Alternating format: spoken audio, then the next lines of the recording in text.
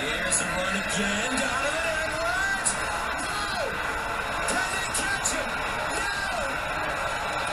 Donovan Edwards again. 85 yards. The Don. Two huge touchdowns. And the Wolverines go up 44-23.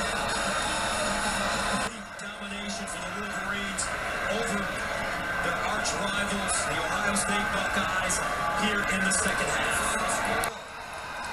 From Columbus, 45 to 23. Michigan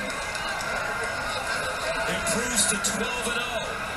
Separated man coverage. Check. Yes, they did. Big plays all over the field. The second thing, the last 20 years, I've seen the last 100 years, whoever controls the line of scrimmage wins.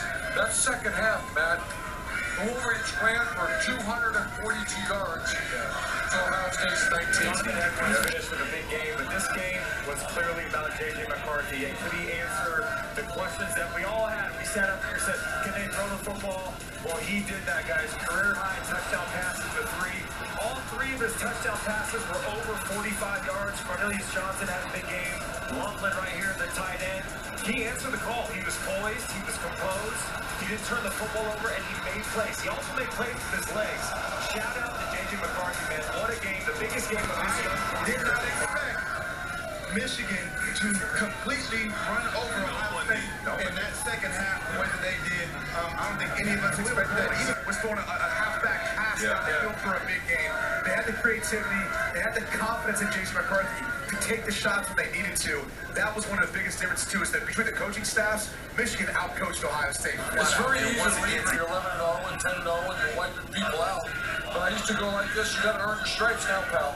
And the head coach, Ryan Day, does, the offensive staff, defensive staff, and the leaders in that locker room. You know, are they a playoff team, Brady? That's a three touchdown loss at home. I'm not But to lose like I'm that, not sure. I think home, and get their butts whooped like that, I, I don't know. This I sort mean, of loss, I think you got to reevaluate everything. Yeah. I mean, you're talking about even you know, the type of guys you recruit, the type of offseason from. Everything has to be reevaluated. Yeah. We watched that sort of game happen two years in a row. Domination, Michigan's largest win in Columbus. Best life, I am writing checks. I do not give it if they don't cash.